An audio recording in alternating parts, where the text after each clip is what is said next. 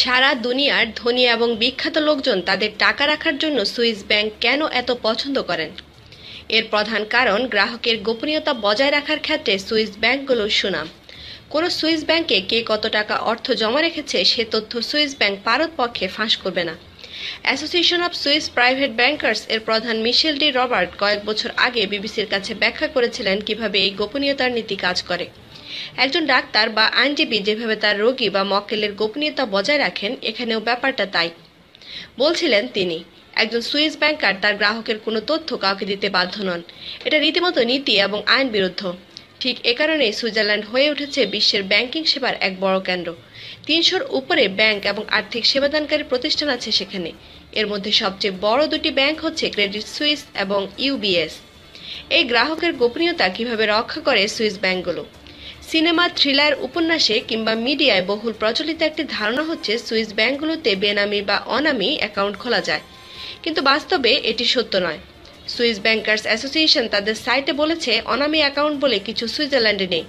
কোনো ব্যাংক গ্রাহকের অ্যাকাউন্টটি হয়তো কেবল সংখ্যা দিয়ে চিহ্নিত করা থাকবে, কিন্তু এই গ্রাহকের আসল পরিচয় ব্যাংকের খুবই অল্প কয়েকজন কর্মকর্তা অবশ্যই জানবেন। কিন্তু সুইস ব্যাংকের এই কঠোর গোপনীয়তার নীতি সাম্প্রতিক বছরগুলোতে অনেক শিথিল করতে হয়েছে বিশ্বের বিভিন্ন দেশের চাপের মুখে।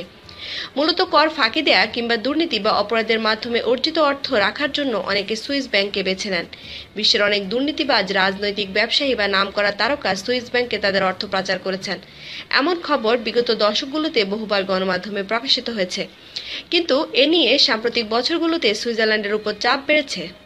এরকম অর্থ পাচারের বিরুদ্ধে ব্যবস্থা নেওয়ার জন্য।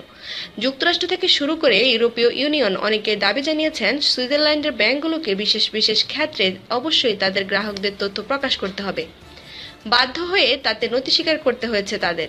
সুইজারল্যান্ড কীভাবে সারা দুনিয়ায় ব্যাংকিং সেবার বড় কেন্দ্র হয়ে উঠল তার ইতিহাস বেশ দীর্ঘ। বলা হয়ে থাকে, উনিশশো তিরিশের দশকে জার্মানিতে যখন ইহুদিরা ন্যাচ্ছেদের শুদ্ধি অভিযানের মুখে পড়ে, তখন তাদের অর্থ গোপন ব্যাংক অ্যাকাউন্টে রাখার মাধ্যমে সুইস ব্যাংকগুলোর এই ব্যবসার শুরু। তবে তারও আগে উনিশশো চৌত্রিশ সালে প্রথম সুইস ব্যাংকগুলো তাদের গ্রাহকদের গোপনীয়তা রক্ষার আইন করে। ফ্রান্সের কয়েকজন রাজনৈতিক এবং ব্যবসায়ী তাদের বিপুল অর্থ সুইস ব্যাংকে রেখেছিলেন। সেই তথ্য ব্যাংক থেকে ফাঁস হয়ে গিয়েছিল। এরপর সুইস ব্যাংকগুলো তাদের গ্রাহকদের গোপনীয়তা রক্ষার জন্য এই পদক্ষেপ নেয়। এই গোপনীয়তা আইনের সুযোগে সুইজারল্যান্ডের ব্যাংকগুলো ফুলে ফেপে ওঠে। তৃতীয় বিশ্বের দুর্নীতিবাজ স্বৈরশাসক থেকে শুরু করে ইউরোপ, আমেরিকার কর ফাঁকি দেওয়া বিত্তশালী ব্যবসায়ী সবাই তাদের অর্থ গোপন রাখার জন্য বেছে নেন সুইস ব্যাংকগুলোকে আপডেট পেতে এখনই সাবস্ক্রাইব করুন। ধন্যবাদ।